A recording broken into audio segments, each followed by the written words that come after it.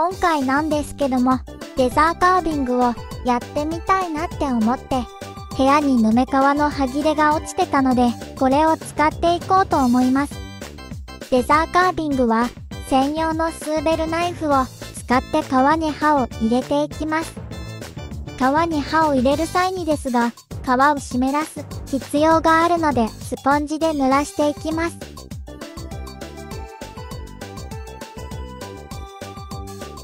これがツーベルナイスになります。試しに皮に刃を入れてみます。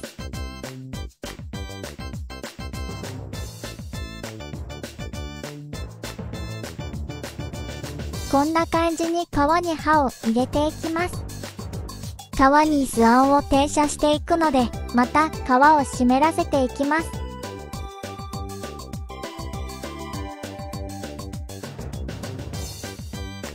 今回はこのトレーシングペーパーに停車した図案を革に停車してきます。トレーシングペーパーを革の停車したい箇所に置いてテープで固定していきましょう。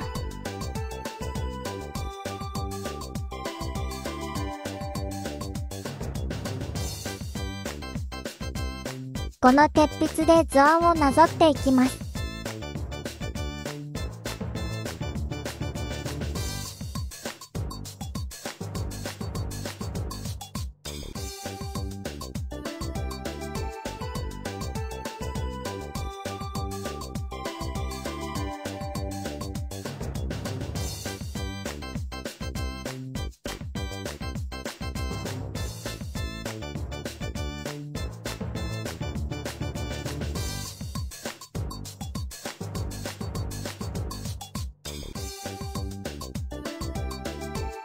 図案の停車ができましたね。革の図柄に沿ってスーベルナイフを使って革に切り込みを入れます。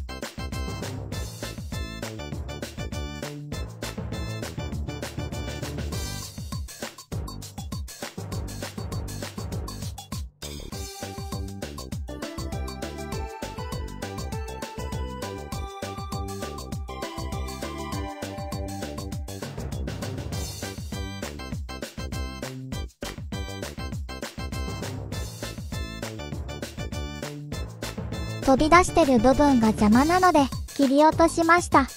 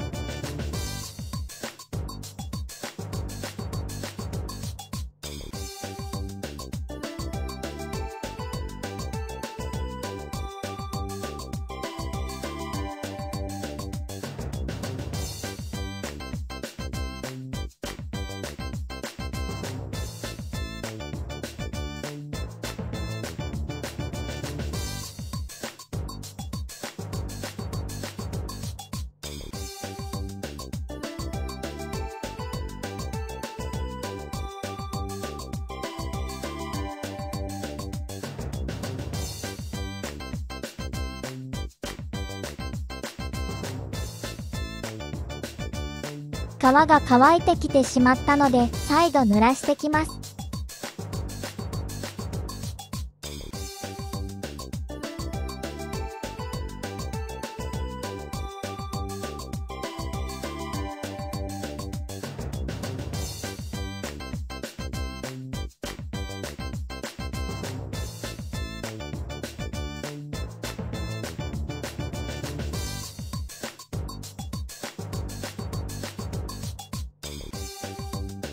切り込み入れ終わりましたね。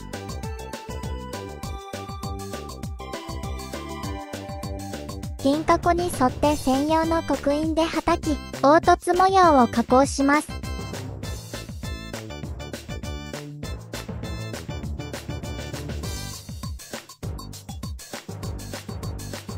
輪郭からはみ出ないように落ち着いて、慎重に進めるっきゃないです。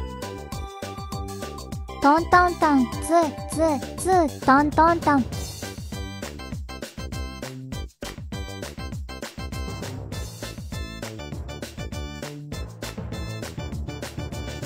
外枠が完了、倍速にしてましたが、結構時間かかってます。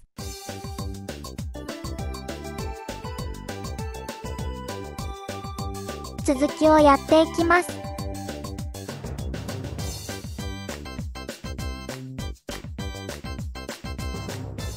刻印はたきを慎重に進め凹凸がはっきりしてくればもう先が見えてきますね。これだけでも十分立体になってきて良いですが、この後色付け作業をして色をつけていきます。と行きたいところですが、練習だったことを思い出して作業をそっとやめた。ご視聴ありがとうございました。